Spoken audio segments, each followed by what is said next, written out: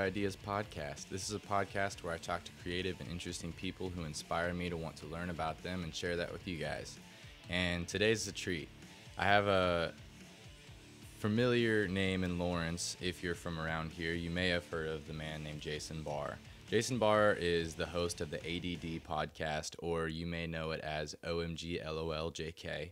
Uh, and is basically just a local podcast where they talk to all kinds of artists that come through town and do a, something pretty similar to honestly what I'm trying to do here. Only he's been doing it way longer and he's way better at it and way more experienced. Uh, but yeah, that being said, he's also an artist. Um, he's a motorcycle enthusiast. He's a DJ. He uh, he's a very interesting dude that does a lot of cool things, and I really enjoyed sitting in my living room and talking to him, and I hope to do it again. I'm going to keep this intro short because the conversation was a little bit long. Um, but I'd also like to let you guys know that I'm going to be releasing two episodes this week because the other one is not an interview; it's more of a conversation. And I, I, I think I'm thinking about adding a new segment. And if, if I do, it'll probably be called Room for Nuance. So check out that title. Keep your eye out for that one also. Um, but yeah, here's my conversation with Jason Barr.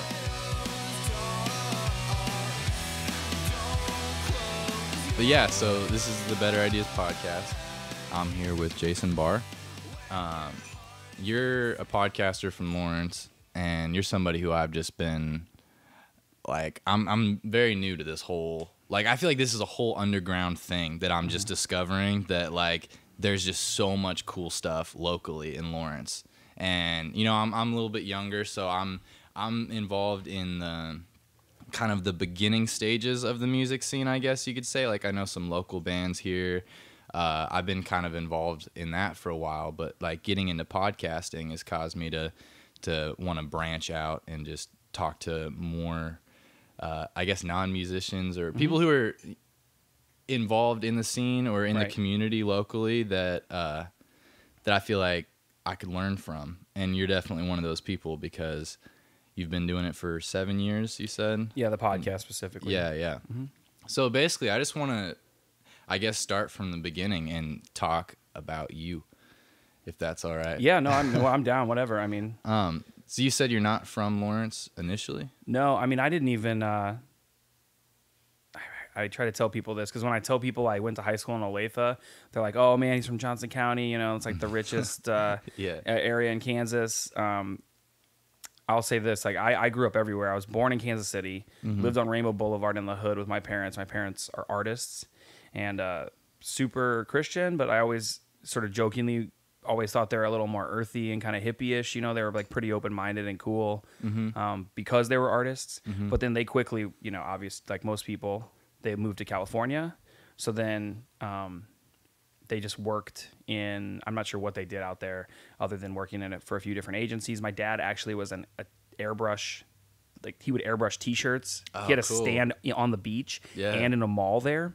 So I remember going and watching him make stuff for people just mm-hmm. on the mm-hmm. fly just your traditional like hilariously corny like 80s you know what i mean unicorns yeah. and lions yeah i think i like, have one of those flat billed hats i got from worlds of fun yeah airbrush yeah. nickname i mean just as straightforward as you think like a yeah. guy that makes airbrush t-shirts on the beach that's pretty he had cool, long though. hair big beard um, uh, yeah he was cool and um, but you know being that they were from the midwest they kind of had this like strong like christian background mm-hmm. and then uh, he ended up getting involved in advertising and then uh, he transitioned into design, like graphic design. He was one of the first people to get uh, the test of Photoshop, like mm-hmm. a, like the very first, like the whatever they call it. What is it? The beta? I don't know, like the beta. Yeah. The, you know, like to, to to learn on the first Mac, mm-hmm. maybe the first or second. So he he was like a Macintosh guy, like an Apple computing guy from the beginning. Um, being that he was on the coast and then we ended up moving everywhere so i mean just like almost like being in a military family yeah so i mean i lived in california then we lived in uh, Indiana. Then we lived outside of Chicago. Um, I mean, I mean, I'm forgetting a few other things. That we lived in Colorado. We lived in. I mean, just he would work for like three or four years until he didn't really feel like as a freelance artist that he didn't have a lot. Uh, I guess that you work yourself out of business is the way he would describe it yeah. as a freelance artist. And then he, I mean, we're talking illustrations uh, too. So he would be mm-hmm. doing illustration work and. Um, I remember like the year that he got, he had done this lamb because he does a lot of pen and ink, and he has incredible handwriting. I mean, just mm-hmm. like bonkers. Uh, and uh, he he had done an illustration of a lamb, and then that that Time magazine for some reason just stole the illustration to use for their Easter article.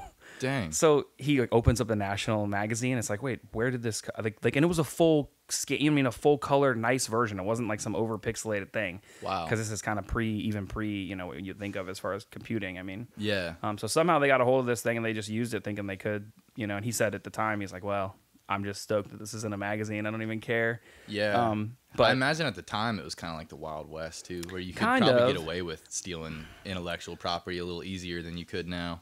Well, now it's just so common that it's harder. But at the time, it, I think if he wanted to go for it, he could have gotten money for it because there were a lot more old school laws before the digital revolution hit that did protect your work and stuff. But from his perspective, and I'm pretty sure he always kind of just said he just didn't ever feel like utilizing the law to sue someone or whatever. He, in his mind, he didn't think it was like a, a, a Christian thing, you know, like he didn't want to waste his time. It was like, ah, this is just whatever. Yeah. So, um, uh, but yeah, we went from California to Chicago to Indiana. I mean, all these places, and he slowly moved his way up, and, and he was like the head. And this is when they still had art departments back in the day, where everything was internal. So my dad would work. He worked for Moody Bible Institute. He worked for another, another huge company called Scripture Press, where he was the head art director for like these giant, you know, sort of corporate.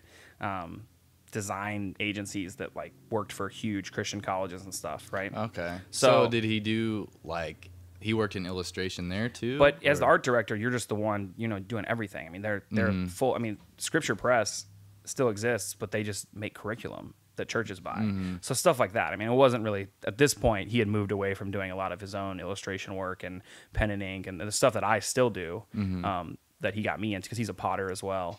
But um, so at that point, as a younger person, I, I, I watched him just do that, and then he became more of a you know, kind of like whatever you would think of as like a classic, like a guy who just wears a tie to work and you know does graphic design. Yeah, basically, he just became like a graphic designer and then was ahead of mm-hmm. all their projects. But then in the '90s, all of the all of those agencies shut down, the internal agencies.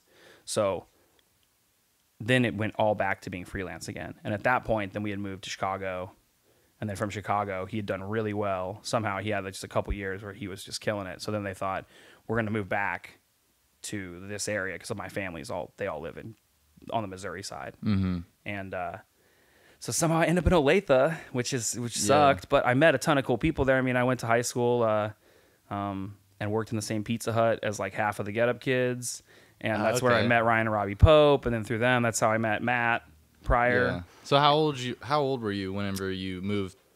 So you settled, I'm assuming, in Kansas. Yeah, I mean, it was just like like I said, that was sophomore, junior, senior. Oh, okay. So uh, I had gone to freshman year to DeKalb High School outside of Chicago in DeKalb, Okay. Illinois, where the corn with wings. Um, Cindy Crawford went to my high school.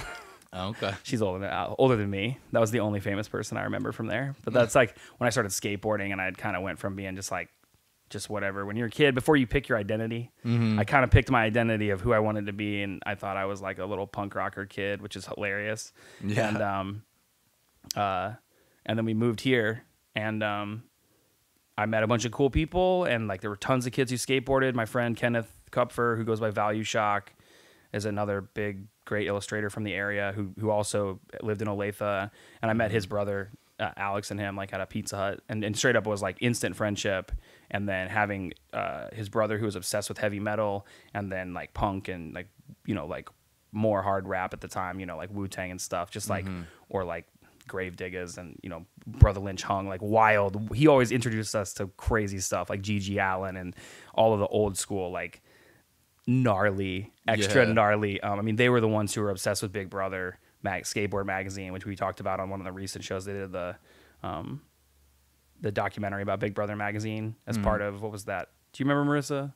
What the the Big Brother ma- what what is that on Showtime? It was a Showtime original documentary about the Oh, yeah. so that was on Showtime. There's a, there's I can't remember what it was called now, but there's a whole documentary about them, and they were the first magazine who worked with Spike Jonze, and then all the guys who ended up becoming the cameramen, and then people like Bam Margera. All of them were uh, in Big Brother magazine. It was a skateboard magazine, but it was really crazy. I mean, it was like just intentionally stupid and vulgar, and there was like lots of porn and stuff in it. It was, it was just bizarre. I mean, it was Yeah. like as a but you know, if you're 16, you're like, oh my god, I don't believe this exists. It's like the holy grail, for a right? yeah, you know, and then after that, then like the Big Brother got purchased by Larry Flynt.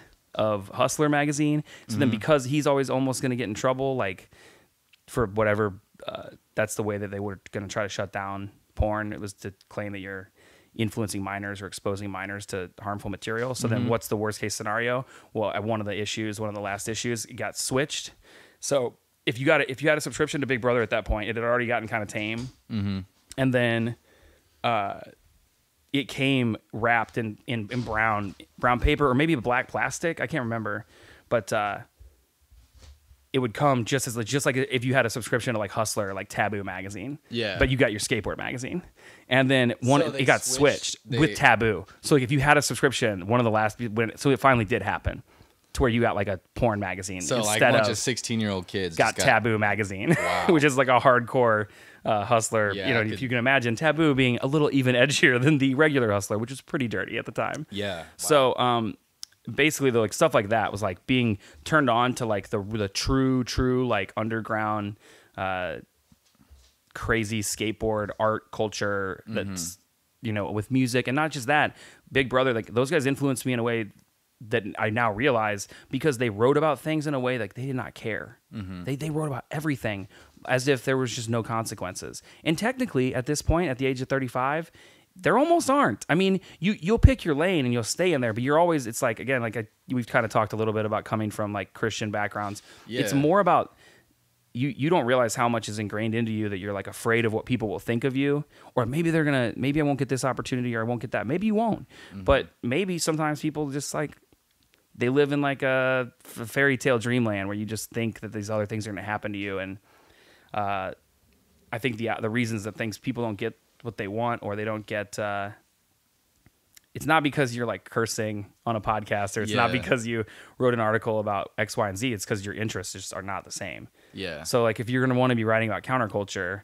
mm-hmm. you have to just do what you do now like as an as an as a journalist. You, know, you have to reach out to 20 different companies and offer up examples. I mean, you just have to work like a journalist. It's not. Yeah. It's generally not like you're not going to get uh, shunned because your content is too edgy. Yeah, especially not now. I, I feel like right. that's definitely changed. It went where, the other way. Yeah, and if somebody doesn't like it, then somebody else will. And now it's it's accessible to kind of like. There's a lot more people, right? Because of the internet. So before yeah. you might have had an issue locally or publicly, and and being in Olathe was bad because I felt like I didn't fit in and. Mm-hmm if nothing else, it just helped me in the long run because me and my friends were very close, and then we already knew that like the majority of people around us like didn't care what we did or they didn't really like or, or not, not it wasn't that they didn't like us they liked us mm-hmm. uh, i was very popular but mm-hmm. b- the people who who did like us like loved us and that was when i realized that it was like oh okay but if you make content for people which is funny we wouldn't we wouldn't have called it content then mm-hmm. but if mm-hmm. you just made stuff that mm-hmm. you believed in and that was a big thing that i learned in college is like just make what you want to make because you want to you, i'm making something that i wish someone else was making mm-hmm. like i'm making this because i wish that i had this to consume yeah so if there was me at 22 or me at 16 i wish i had the add podcast you know mm-hmm. uh, or whatever I listened to. So at that time, though, that would have been Big Brother magazine.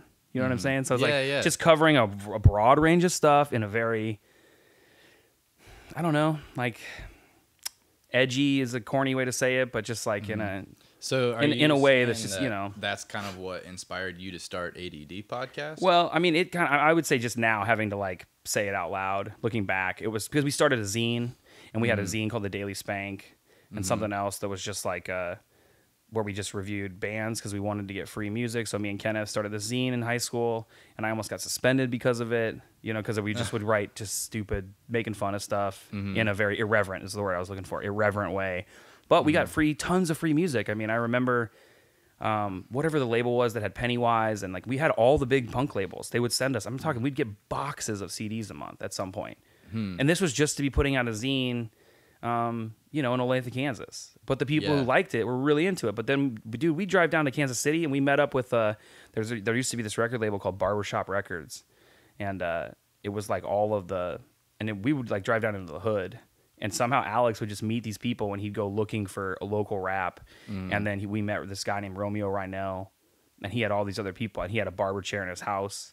And uh, I mean, this was as real as it gets. But so somehow it's like we just figured out um, as like bored, mm-hmm. like dorky white kids that we could go somewhere else. But then they were like, no, we like these guys because maybe they're not scared enough. Like they don't know they should be scared. Yeah. Like we went to Romeo Reinell's uh, birthday party and it was like a crazy party. And we ended up, we were underage. Mm-hmm. And then he ended up, I don't know what happened, but like we weren't even drinking.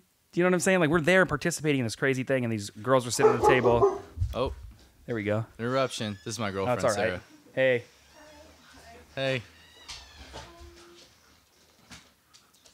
Oh, it's on. Oh, you're good. It's going good.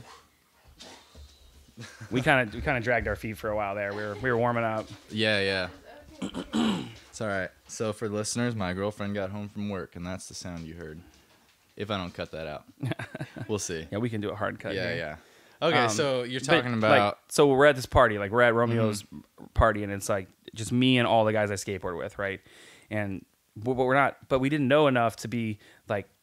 Obviously, we had to look super young. I mean, we were still in high school. Like, you, Yeah. you don't look old, right? But then Yeah. people kept going up and getting waters and stuff. So in our mind, it was like, well, we're not trying to break the law, but we were there, and all these other girls would come to sit at our table because obviously we're like, we don't look like anybody else there. Mm-hmm. Yeah. And we, even though we were a pretty diverse group of kids, but we all just look like skater kids from Olathe or whatever. yeah. And uh, and then at some point the girl's like, "You should probably move."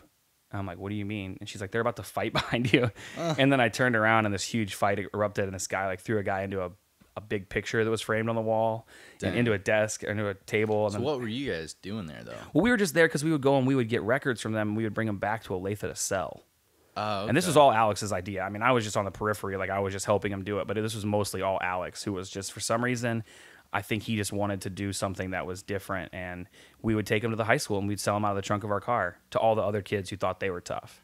Yeah. You know what I mean? Like, yo, Yeah. have you heard this? This is the cool music that's coming out of Kansas City. Like, this is the really like this is the hard stuff. Like, this is real.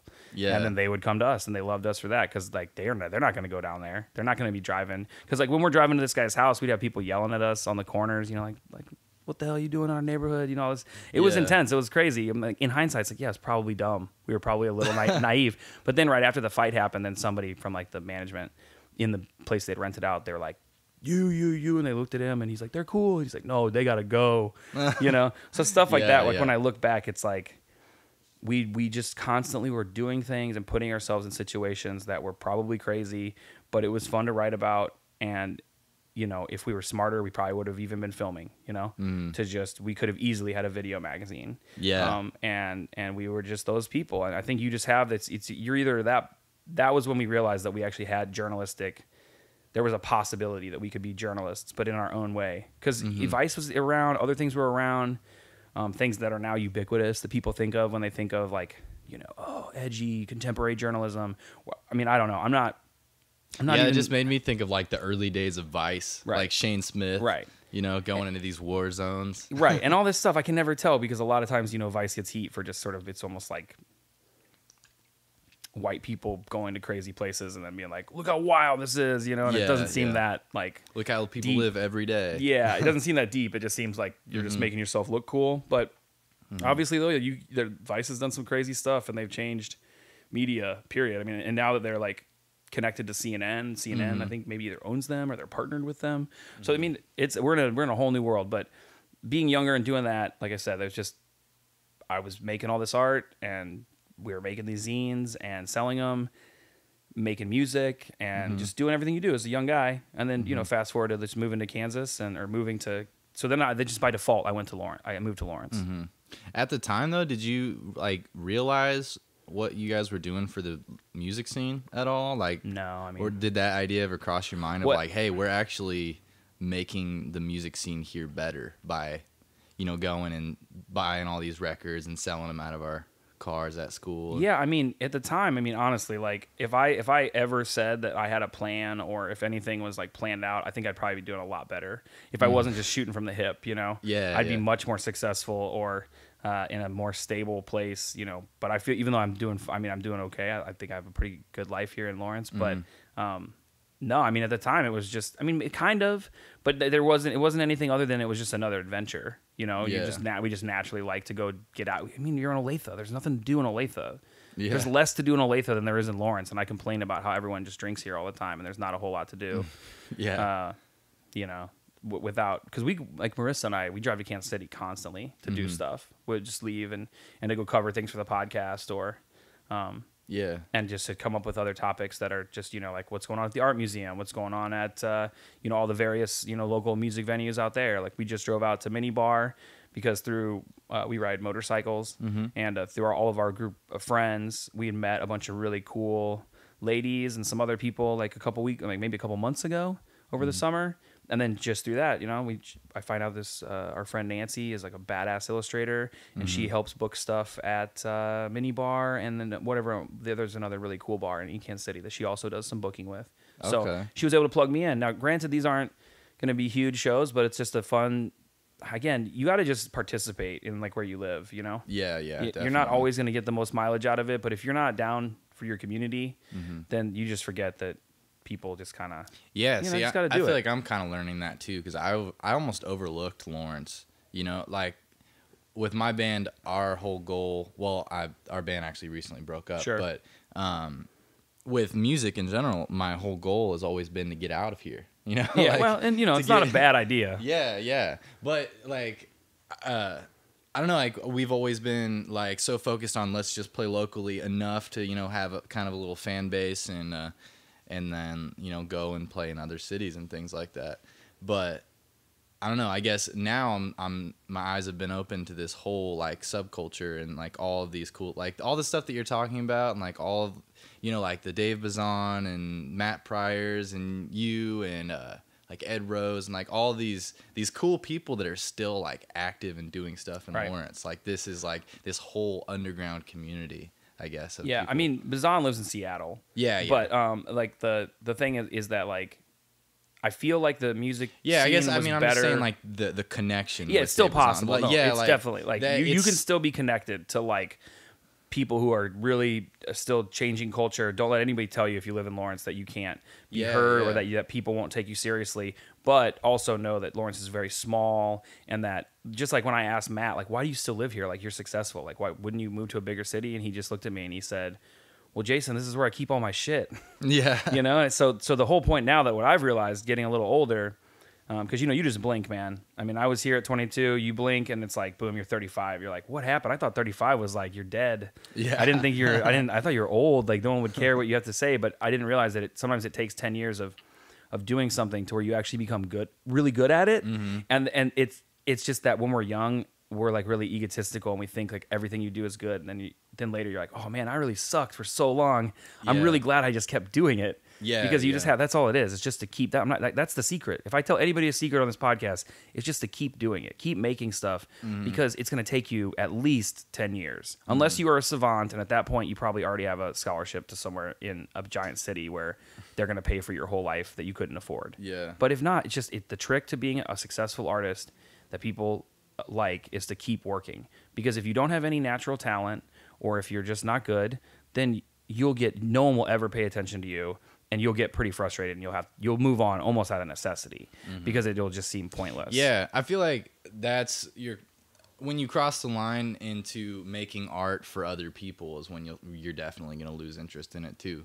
Because it's like you said, like do it because like when you uh when you started out doing this or like making music Mm-hmm. or making art, it's always like I want to make something that I haven't seen that I feel like needs to be made. So Mm-hmm. at that point, you're just doing it for yourself. you're doing it for yourself but you're also doing you're do I'm doing this every time I turn this on I'm doing this for like the 18 year old me Mm-hmm. you know or the 17 year old me like the guy who's frustrated who came from a Christian background who maybe has some weird guilt issues surrounding literally everything Mm-hmm. uh, I'm sure you can relate. It's it's just I mean most Christians people who come from any background of faith not even Christianity but things that deal with morality and in, in interesting ways at times. Mm-hmm. um, you know I'm doing that for them because I felt like it took me forever it, almost embarrassingly so Mm-hmm. to really finally shed certain things and be like man none of this matters. Like i just need to just be me and make the art i want to make and no one cares. I was so insecure when i was making my show in the beginning. I would edit the hell out of it. I would say things that i thought were true or maybe that i felt compelled to say but then i would put the episode out and i would freak out i'd have a panic attack like four hours later and i'd go back and i'd re-edit the episode so that it wouldn't that part wouldn't be in there and at some point I just stopped doing that. I was like, man, no one, people care. They're listening. I can see the numbers and they're going up con- consistently. Uh, and because uh, I always told myself if it went down, if it started to, you know, if you could really see that the wave had crested, that I would just move on to something else. Yeah. But the numbers were still going up. I would rarely get any negative feedback other than in real life if people are like man you're being really negative online or you know maybe chill with this. Yeah. Uh, just as a habit as a guy who's suffered like with from being like manic depressive mm-hmm. you know the, it, sometimes i get down and it's like hard not to be negative right? Mm-hmm. and if you're talkative then you're just gonna say some dumb stuff occasionally right? Yeah. But the more i did it the better it got. I became a better interviewer. I had to edit less uh, I actually got more opportunities, which meant I didn't want to spend as much time in post on the mm-hmm. podcast. Yeah. And I got better guests. And I realized that most of the time people would just do it. Now, granted, people weren't really doing podcasts then either. I mean, there wasn't mm-hmm. that many. Mm-hmm. And it was now I feel like everybody's there's so many podcasts. Yeah. But that also means that you just have to make sure your podcast sounds really good, make sure it's really well edited, not overly long.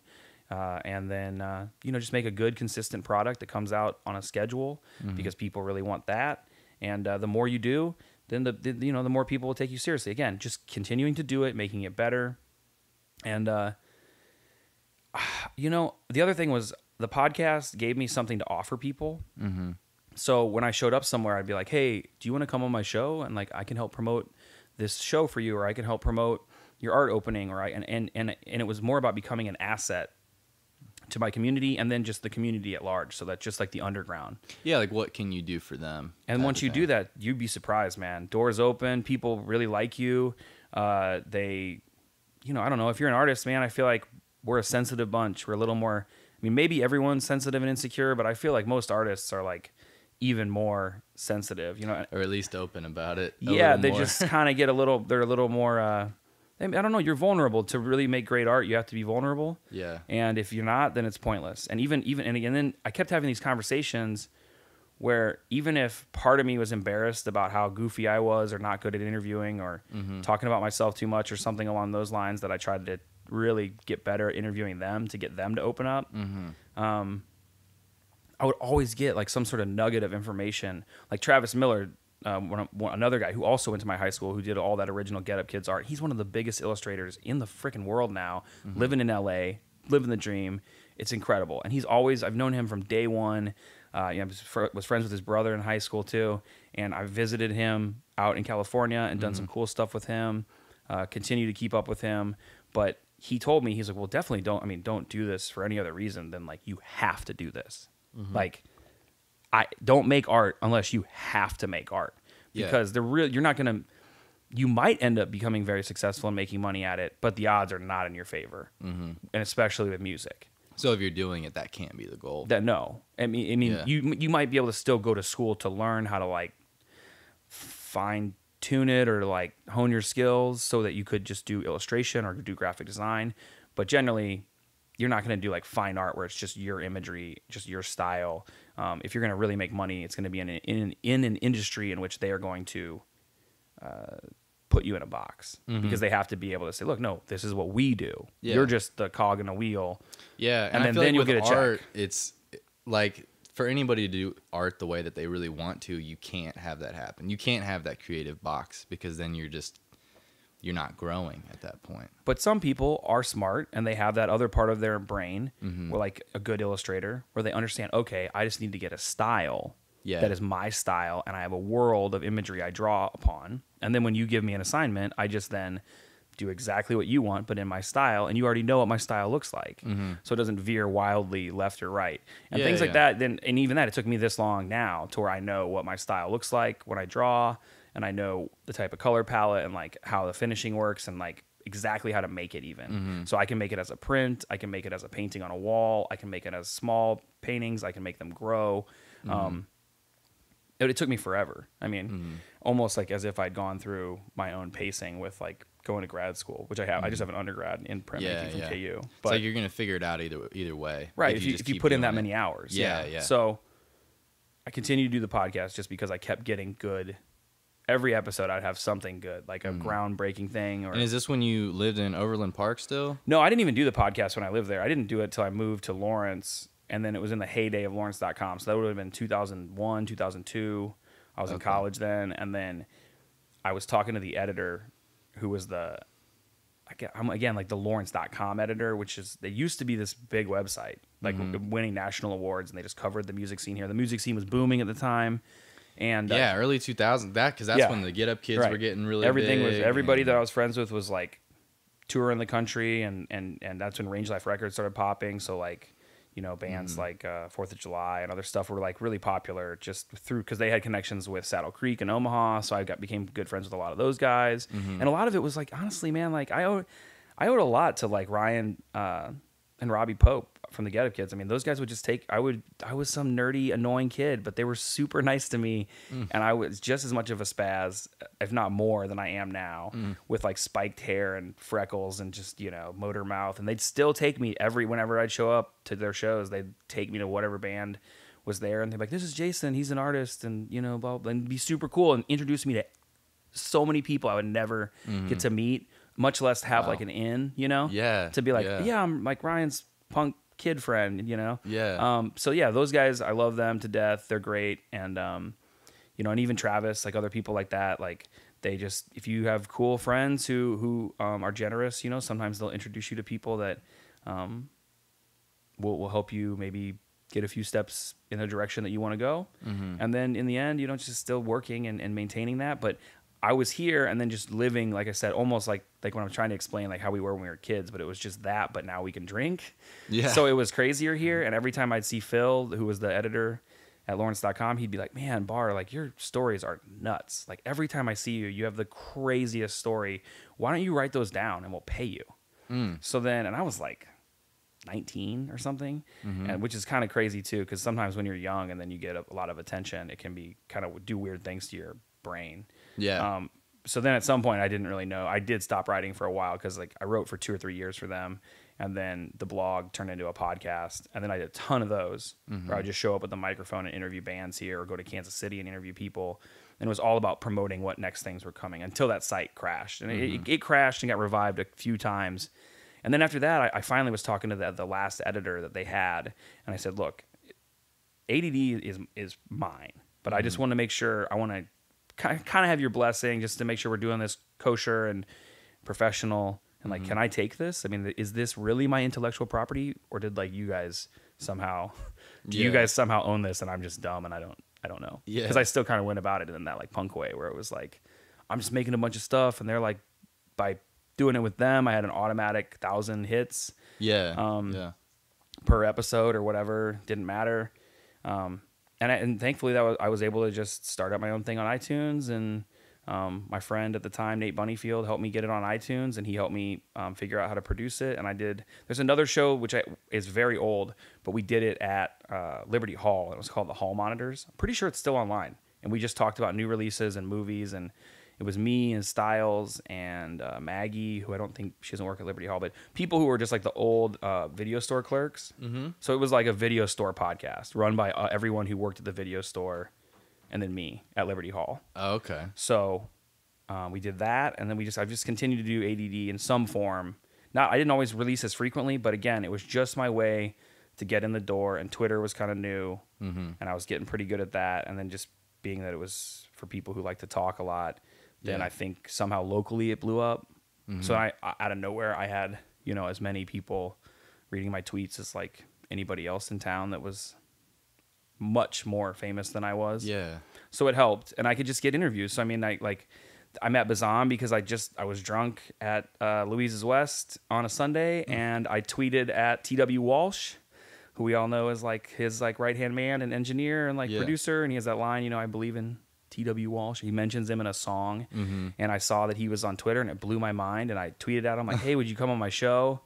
And then he came on the show. I called him and did the show, and but then I still wanted to know a lot about Bazan because I hadn't even met him yet. Yeah. And um, there's a song called "Borrow My Vibe" by T.W. Walsh, and um, it was kind of very it seemed very critical because I knew that they, their relationship had kind of fallen apart at some point, mm-hmm. and he wasn't in the band anymore. Mm-hmm. And um, because he, he toured with Bazan for a while, and they, they, they referred to him as the first official band member. That's what the press would always say, because he yeah, always just yeah. sort of had hired guns. Yeah. When he was doing Pedro the Lion, it was still just him, but nobody else was really that important. Okay. Um, it was just like again, they were just hired guns. Yeah. But T.W. Walsh was seen as like a legitimate band member. Yeah. And apparently my questioning in this, I was like, was that about like your relationship like falling apart with Dave and like was he hard to work with and like like I just really started digging in that and then, so then later after that episode was out, I think I actually did the job of a real journalist where you ask questions mm. that might make them uncomfortable and like you don't care if they like you. Yeah. Um, because that's like what a real journalist does. Yeah. Um, to get the story. And I wasn't doing it on purpose. That's that's the worst part is that I was just I'm just a geek and like I really geek out over just Dave's really stuff. wanted to know. I'm like really passionate about you how much I loved his work because it really yeah. helped me through some parts of my life. And I also loved. I mean, I thought T and T.W. Walsh had a new album out and mm. it was mm. awesome. And I genuinely like his work, but I think he felt like maybe it was like a weird surprise attack interview and like it, I, he yeah. didn't feel like I was. Uh, he even said it on Twitter because I tagged Dave. I was like, "Hey, uh, TW just did the show. Would you do my show next?" And Dave was like, "Sure." And then he then commented like, "Oh man, you know this is some bullshit or something like you just had me on your show so you could get to Dave or something like he like literally tried calling me out like really? on the internet and again but that was stuff where the internet then everyone else can see this so then it didn't really matter in hindsight it just made me look more important. Yeah, and that's not even what you were doing. And, and not at all. Like I said, yeah. there, I have no, there is no planning involved. I'm mm-hmm. just shooting from the hip, and sometimes, most of the time, it goes really well, and occasionally it goes spectacularly bad, mm-hmm. but it's always public. Yeah. So then, once someone is responding to you and speaking to you like as their peer, then mm-hmm. you've now it's like guilt by association. Yeah. To where, but in a good way. You know, I mean, just like I said, mm-hmm. like getting on Mike Maxwell's show, stuff like that. Then it elevates you, and even even just talking to people on your show, people just assume you're friends. Like mm-hmm. they're like, well, they're talking to you. You guys must be friends. Sometimes yeah. you become friends. Sometimes you'll never talk to that person again. But uh, I mean, or like, uh, and then later, here's the funny thing though. A couple. So then he like got mad at me, and he like talked all this shit, and then uh, unfollowed me on Twitter, and it was all this like juvenile stuff, you know, for like a grown man to be. And I even talked about Dave, and Dave's like, "Well, you know what? He can only be himself," you know. Mm-hmm. And obviously, as you've seen, he's been on my show three times since then. I go to see him in Kansas City.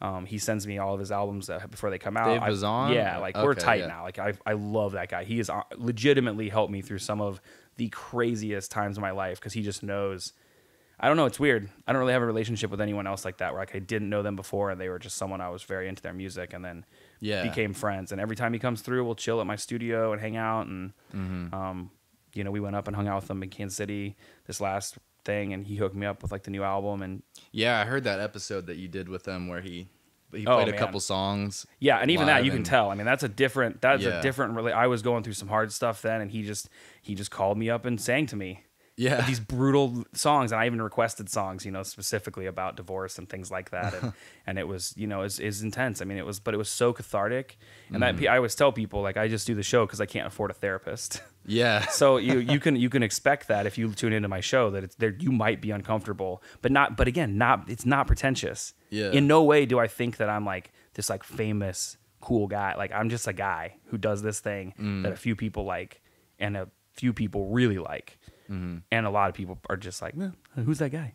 Yeah. So I mean, as long as you're just you're just you just acknowledge that I, I mean if nothing else I think I'm a hard worker mm-hmm. but you know I, but then again though I have I mean Schoolboy Q you know he's huge right I mean, he's millions of followers on Twitter when he came through and, and did his show at the at Liberty Hall he showed up late to a show that was an underage show and then it wasn't even that bad of a show like all the other openers were pretty cool I'm pretty sure there were some other pretty big uh, rappers that opened for him that were okay. But then he showed up at the very end and then continued to try to play after midnight.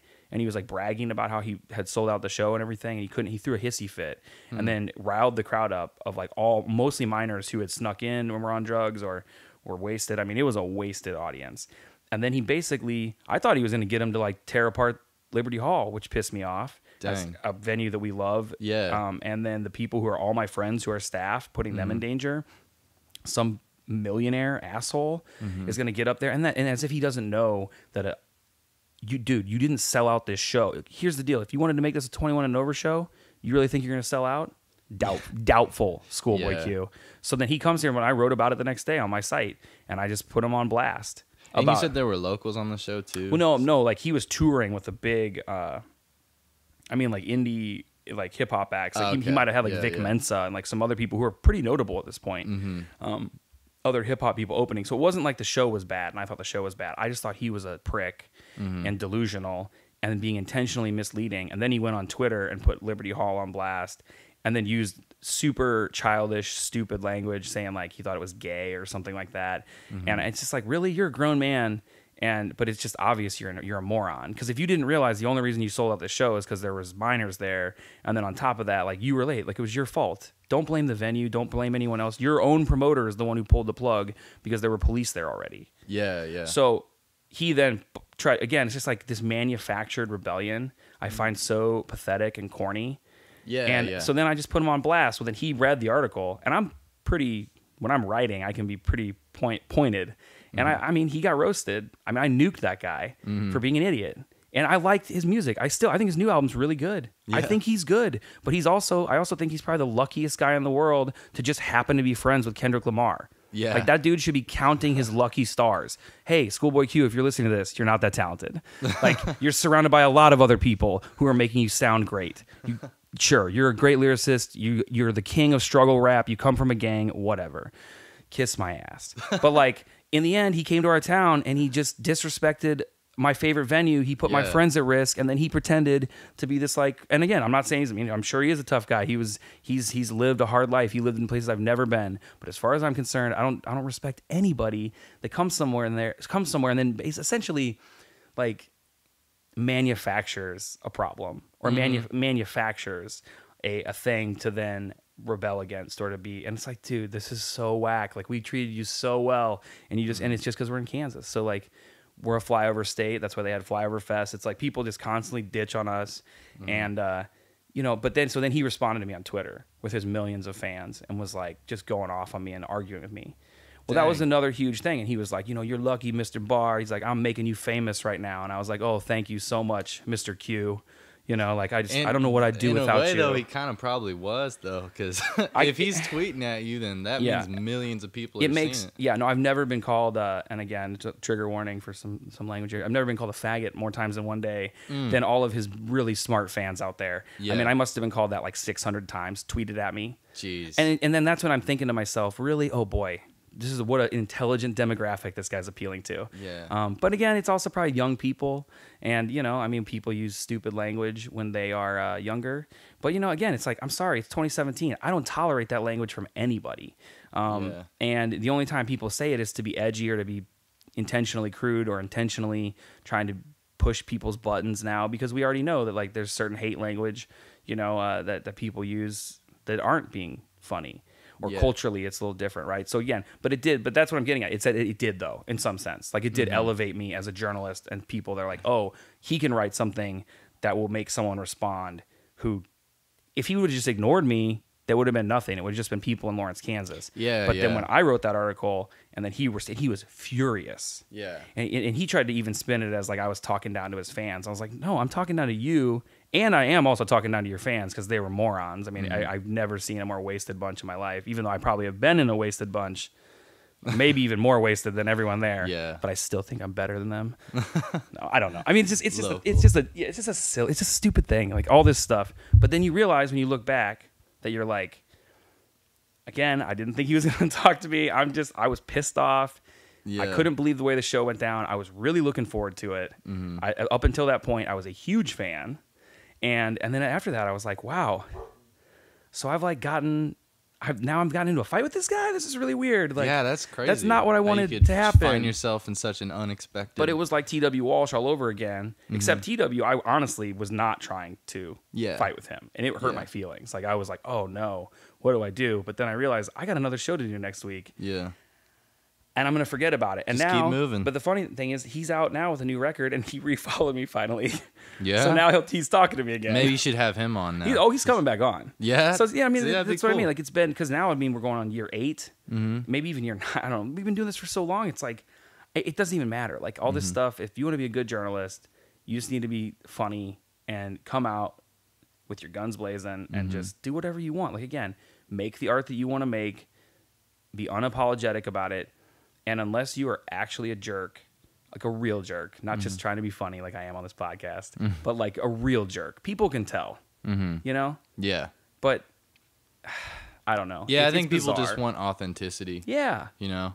And if, if nothing else, when I talk to other people, um, you know, why do you care so much? Because I always would say I take a lot of really inconsequential shit very seriously, or I take a lot of silly shit very seriously because mm-hmm. my art is very like tongue in cheek and my art is all based on stuff that is like intentionally childlike or intentionally raw. Mm-hmm. So to me, the aesthetic of outsider art or um, like I'm gonna have a very serious conversation with you about you know some guy that's like a farmer, you know what I mean, that just makes crazy mosaic dicks out in the country or something, and, and, I, and I look at this and I'm like, this is this is better art than I've ever you know what I mean. Look at like or yeah. I, mean, I mean maybe take away the, the penis joke, but like you know like a Garden of Eden or something, you know, where somebody yeah. spends their entire life just making crazy religious mosaics that when you look at it, it's just overwhelming. Mm-hmm. And and you look at that and you go, well, anybody could say, well, this is not really art because they're gonna compare it to like some Da Vinci thing, mm-hmm. but I felt from a very early age that I liked all that outsider art, which then, of course, the older you get, it gets consumed into popular culture. So that became street yeah, art. It's like it goes back and forth. You know, like there's like something that's counterculture. If it's good enough, it seems like it will almost like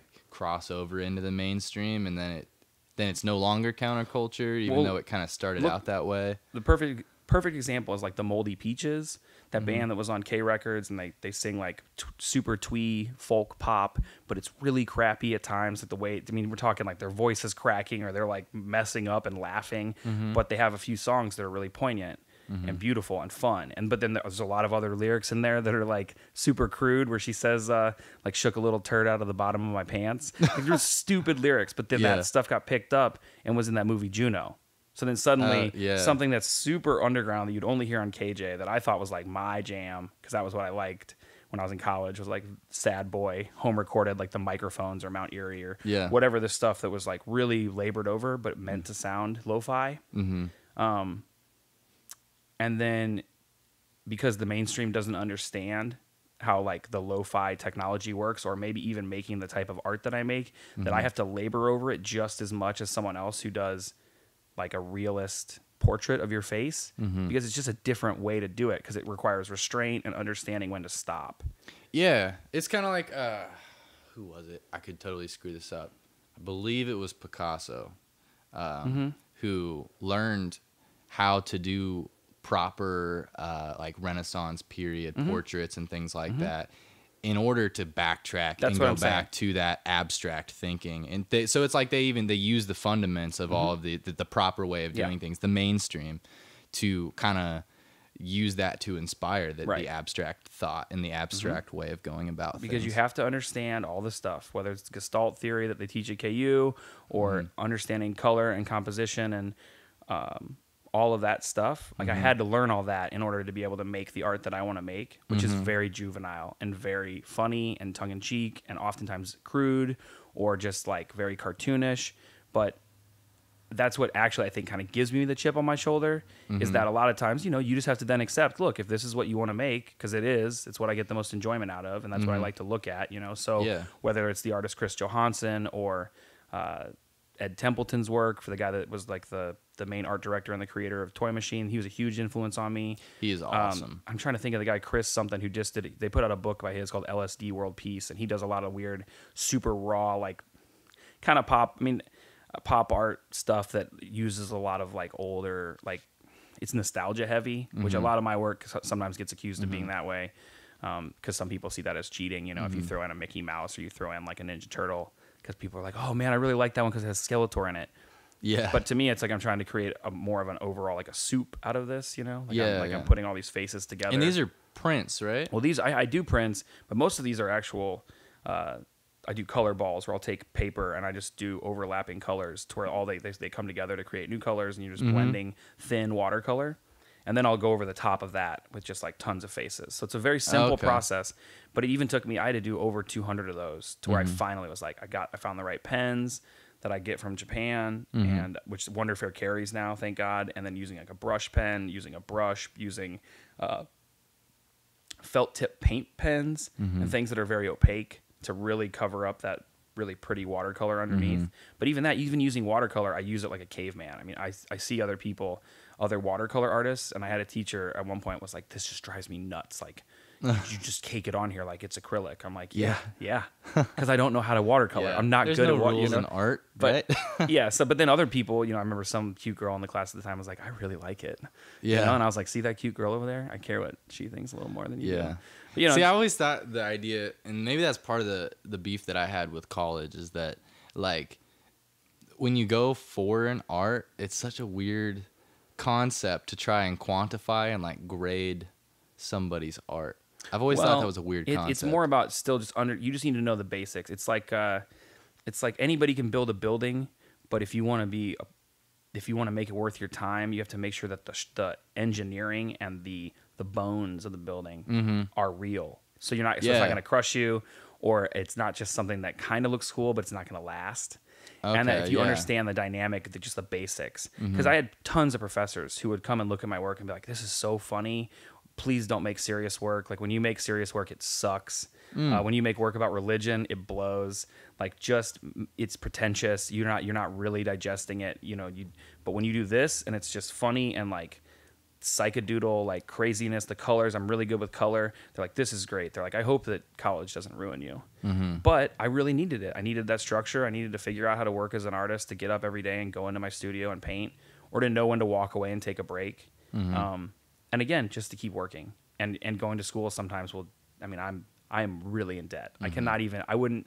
I can't even say I would recommend someone to go. But I, I, say this, and then my mother will constantly be like, "Yeah, but you wouldn't be doing what you're doing. Like, you wouldn't know how to screen print. You wouldn't yeah, know how to." Yeah. Where do um, you print now? Just curious. I just have. I mean, sometimes I work with this guy Nick Perry who lives in Topeka. He used to live here. Red mm-hmm. Legger Studio. Mm-hmm. You can look it up. The Art of Nick Perry on Facebook. He makes incredible screen prints. Yeah. So I'll work with him sometimes, so I can, you know what I mean, like work really, uh, uh, you know, like how I do, like really quickly, and then uh and just to just pull a print out mm-hmm. uh, out of nowhere like in six hours with him. But mm-hmm. then by having him with me, uh, he'll it'll still look really good. You know, yeah, like it'll yeah. still come out looking really raw, and like the aesthetic will still look like me, mm-hmm. um, where like the lines are kind of gritty and, and not you know, because I'll just do I just work really fast, mm-hmm. so that mm-hmm. or, or, instead of using you know like a traditional screen printing technique, you know, I'll be making transparencies with like spray paint and stuff, so some of it won't show up. So there's still kind of a surprise oh, as wow, to how okay. it'll look. Yeah, see, I took a um, screen printing class in high school, so mm-hmm.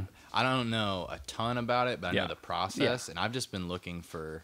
I guess like a studio or somewhere to go and try and print. Well, I, I would recommend the Lawrence Art Center. I'm serious. It, they have a yeah. great they have a great facility down there. You can go check in and uh, you know, I they'll think, let you use the equipment. Well, you, you either take the class, they'll have a class that you go in, and then generally you'll be able to print like four projects or something, okay. and then they'll just give you a day to come, and then you'll have the teacher present, mm-hmm. who's always a working artist, mm-hmm. and they always have super cool printmakers who work there. And then if to the point where maybe once you take a class, then sometimes they'll do open studio, and you mm-hmm. just pay like forty bucks. It's not much. That's and you cool. can also give them they uh, the Lawrence Art Center has income based payments.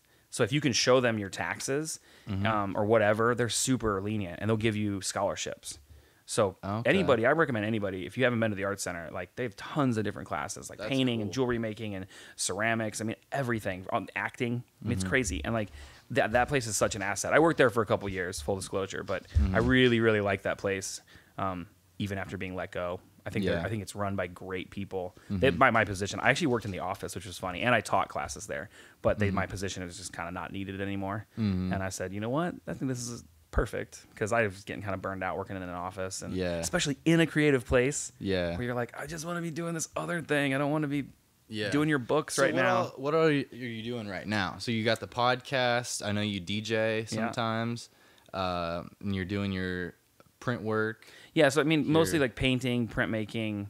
Um, I do a lot of illustration work. Like I'm now the uh, I'm an associate producer on the new Mark Summers documentary. Yeah, that one you on your mark. Yeah, yeah, yeah, I did send you that. So I did the poster, movie poster for that. But even that, that was like a hookup through the podcast where mm-hmm. I had this guy on my show who was a friend of a friend who I also was running a business with here, mm-hmm. where I was the designer and then but, but, the same guy that started the website mm-hmm. that we made fun of Schoolboy Q on. Mm-hmm. So I mean, mm-hmm. it's all kind of connected. Like the yeah. podcast essentially has given me um, between the podcast and then like the internet, like Twitter and Facebook, mm-hmm. um, has give, just given me a lot of opportunities to work with really cool people.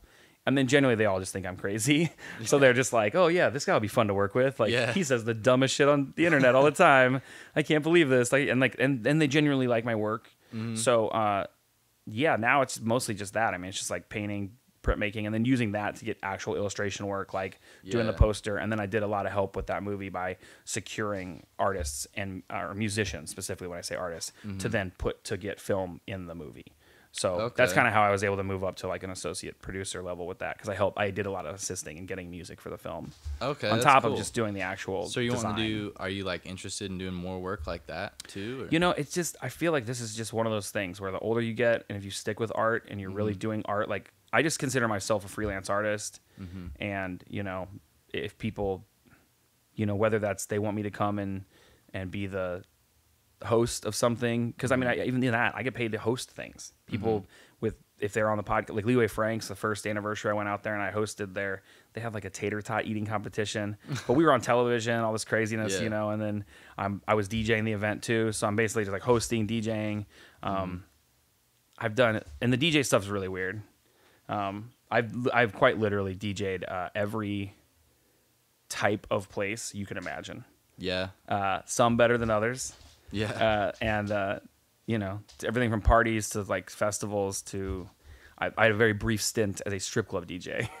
I hated it. It was very bad. Sounds but, interesting. But you know, but again, I needed the money, and it was like, sure, why not? You know, yeah, go in and yeah. play rap music and like have fun. And but then quickly, I was like, oh boy, yeah, like this is this is probably not my scene. Yeah. but everyone was still nice. I mean, even then, I left that job and was like, everyone's cool, you know. And I met some people, and it it uh, expanded my version of what I thought was I don't know. We all have like carry around a lot of weird judgments and yeah. So even that I learned. I did learn something. You Put know, put yourself in a new place. I'm yeah, sure you can. It was wild. Yeah. I mean, yeah. New experiences. Uh, well, we're at. It's already over an hour. Yeah, there so. you go. Yeah, we can probably wrap pretty soon. Yeah, we can go ahead and wrap up if that's cool. Yeah. Um, well, I'll just tell this: people can find us on iTunes, the ADD podcast with Jason Barr.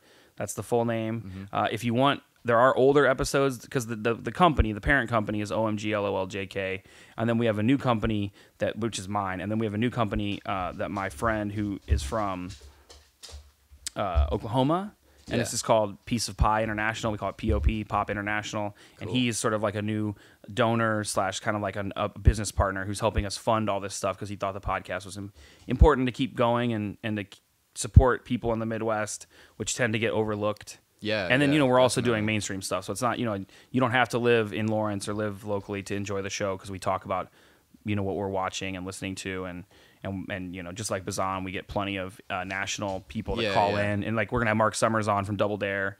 And that he had that show Chopped. Um, mm-hmm. So he'll be on soon.